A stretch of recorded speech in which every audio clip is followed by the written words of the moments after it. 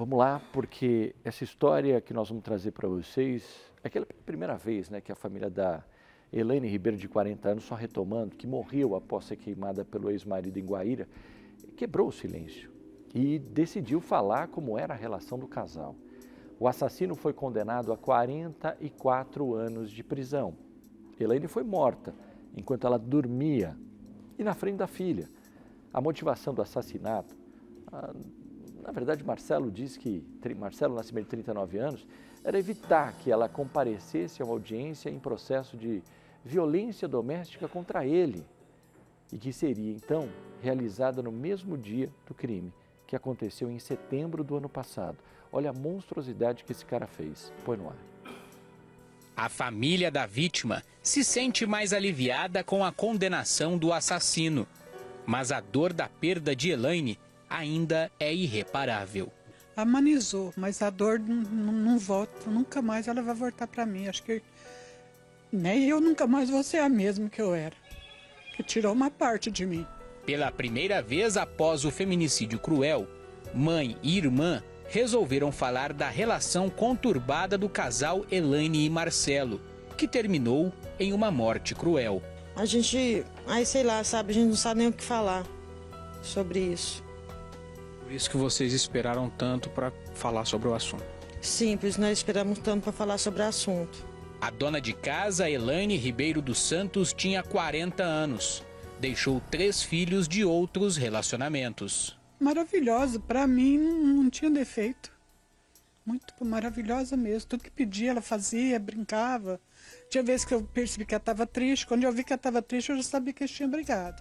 Três filhos. Tem um de 21 anos, mas já não morava com ela, né? Morava com o pai.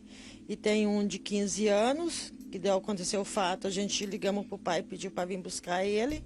E deixou uma de seis anos, que vai fazer sete anos agora, dia 28 de agosto. Essa que viu tudo ali, estava na casa. Sim, a de seis anos que viu tudo, presenciou tudo. Marcelo Nascimento, de 39 anos, é pedreiro. Os dois estavam juntos há pouco tempo, quatro anos. Uma relação violenta, de idas e vindas, que causou o fim do casamento.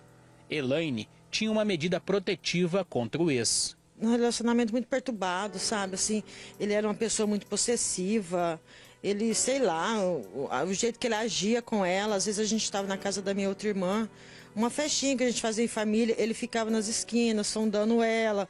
Aquela relação, assim, sabe, ele não dava paz para ela um segundo. Onde que ela estava, ele ficava sabendo que ela estava, ele ia atrás, ele ficava nas esquinas sondando, esperando ela sair sozinha.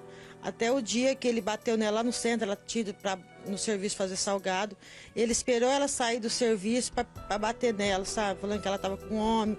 Ele era, sei lá, ele era um psicopata, um homem muito estranho. O crime aconteceu em 21 de setembro de 2023, em Guaíra, no interior de São Paulo, duas semanas após a separação do casal. Na agenda de Elaine, ela tinha um compromisso no dia seguinte à data do crime, viria ao fórum da cidade para uma audiência de violência doméstica, um processo criminal que movia contra o ex-marido. Só que Marcelo, com medo de ser preso e também do que a ex iria falar aqui no fórum da cidade, armou uma emboscada. Convidou Elaine para jantar na casa dele. A mulher foi junto com a filha e após o jantar, ela e a menina pegaram no sono. Marcelo então usou um litro de álcool, jogou no corpo da ex e, na sequência, ateou fogo. Tudo na frente da filha pequena da mulher. Eles conversaram, aí ela foi deitar no colchão para colocar a menininha dela para dormir. Que ela deitada no colchão, ele pegou e foi já jogou o álcool em cima dela. Nela levantar, ele já riscou o isqueiro.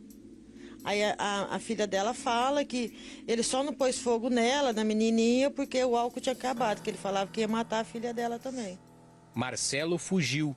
Elaine foi socorrida, mas morreu no hospital por conta das graves queimaduras pelo corpo. Levei pronto-socorro, daí ela desceu da minha condição na porta pronto-socorro e entrou pra dentro, andando ainda.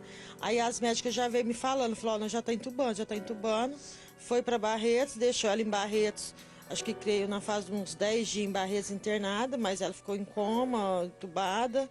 Aí depois que ela foi transferida para Bauru, em Bauru ela ficou sete, acho que sete dias, oito dias em Bauru. Minha filha morreu no dia que ele queimou, porque nunca mais ela abriu o olho e nem conversou comigo. Só o dia que ela foi para outra cidade, lá que ela só abriu os olhos com muito esforço, sim. Aí ela deu uma repuxada assim, foi a última mexida que ela deu para mim. O pedreiro acabou preso dias depois pela polícia militar, em uma estrada de terra, e só saiu da cadeia para o julgamento que aconteceu no Fórum de Guaíra.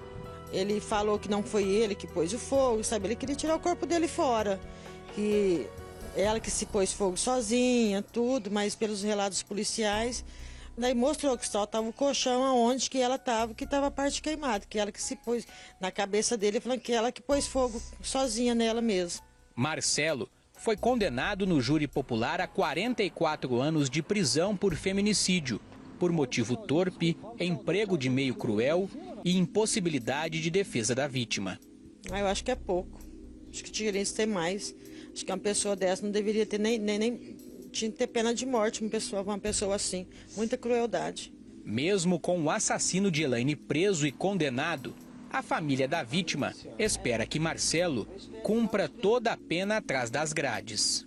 Eu espero que a justiça deixe ele lá, porque se ele sair, o perigo é para as meninas menor, porque a gente até ele sair, se Deus quiser, eu já vou estar tá morta, né? Mas tem a pequena. Saber lá se esse homem sair, ele não vai querer fazer vingança com a menina também. É a preocupação que tem, né? Agora me fala, 44 anos de prisão. O cara pode ter bom comportamento, aí depois começa a lei colocar a mão na cabeça dele e falar, coitado, ele já cumpriu um pouquinho da pena, ele pode né, ter os benefícios, aí ele sai.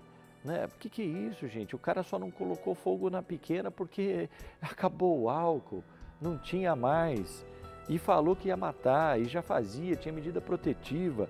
Ô, oh, essa justiça, ah, condenou, condenou, mas não tem que ter benefício coisa nenhuma, esse cara tem que ficar preso. E é o que eu falo para vocês, se esse cara sair e se relacionar com outra pessoa, ele vai fazer a mesma coisa, a mesma coisa, porque a índole do cara é fazer isso aí. Não tem jeito, gente. E outra, falou uma coisa, se ela tivesse colocado fogo no corpo conforme ele disse, ele não ia pegar 44 anos de prisão, concorda? Porque o promotor ia ver brecha, é, ia ver que a coisa não ia bater, a polícia, quando investigar, ia ver que tinha alguma coisa que não está batendo. Balela, ele contou para tentar sair fora e nada disso aconteceu. Sabe, gente? Agora só falta essa justiça realmente cumprir 44 anos de prisão. Mas a gente sabe que, infelizmente, na prática, isso não vai acontecer, não. E Brasil, hein?